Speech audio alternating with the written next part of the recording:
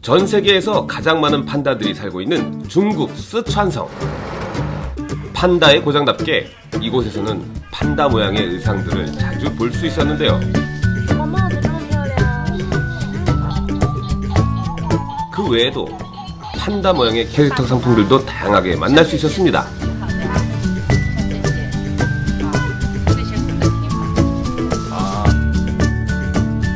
그중 한 기념품 가게 앞에 선 제작진. 이곳에서도 다양한 판다 모자들이 준비되어 있었는데요. 우리의 판다 PD 그중 마음에 드는 모자 하나를 머리에 썼습니다. 좋아? 아, 버스 슈머.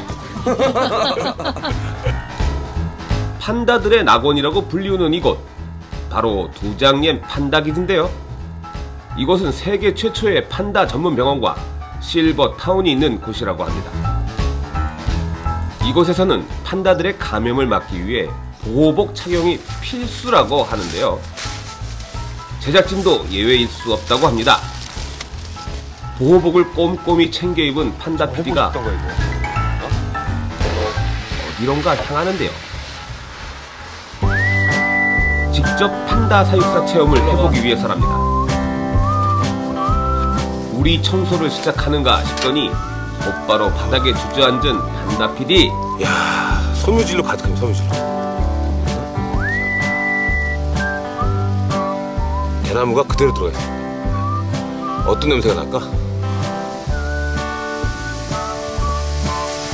냄새 하나도 안 나는데? 呃，剑很真，它的很很粘实，就是包裹的很紧，很粘实。嗯， 这是健康的熊猫，它都没有这就是很有还有清保留清竹子的清香味，它排出来的粪便， 하루에 건강한 애들 이거 몇 개나 얼마나 싸요? 这个是跟那还有呃根据熊猫自己自身的体重。自身的体质，但是正常的熊猫像戴丽，现在它正常的粪便是七到八公斤， 아이 부끄러워. 창피해서 못 살겠네. 아니 하고 많은 판다 중에 왜 저를 걸고 넘어지는 거예요? 正的。 이거를 하루에 일을 본 거라고 합니다. 야, 하... 으아! 왜 이렇게 무거워? 对， 우와, 으아! 왜 이렇게 무거워? 对，这样抬，对，抬起来要轻松一点，对吧？一个人真的很重。你没看我拉，我都是够拉出来的，根本抓不起来。 이번에는 대나무 쪼개기에 도전합니다. 우와, 한 방에. 대나무 쪼개기는 내려칠 때 무릎을 굽혀서 자세를 낮추는 게 요령이라고 하는데요. 단 한 번에 성공한 판다 PD. 很好，非常好。 헤이!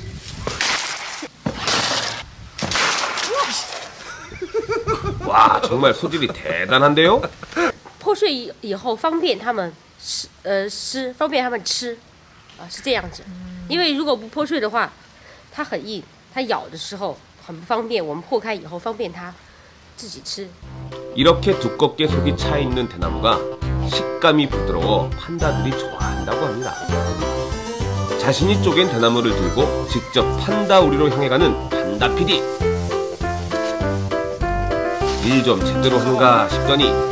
딴청을 부리기 시작하는데요.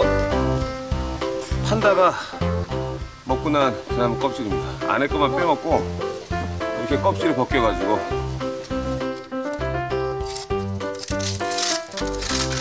판다는 대나무를 먹을 때 껍질을 벗기고 그 속만 먹는다고 하는데요. 날카롭게 잘라 먹은 이게 도대체 무슨 맛일까? 이렇게 해서 요 요걸 요걸 먹는 거 이걸. 이번에는 대나무를 먹어보는 판다 PD. 과연 대나무는 무슨 맛일까요?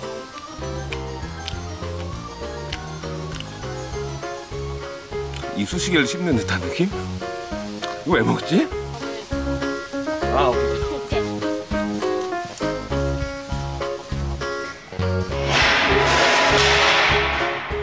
PD 양반, 당신이 대나무 맛을 알아?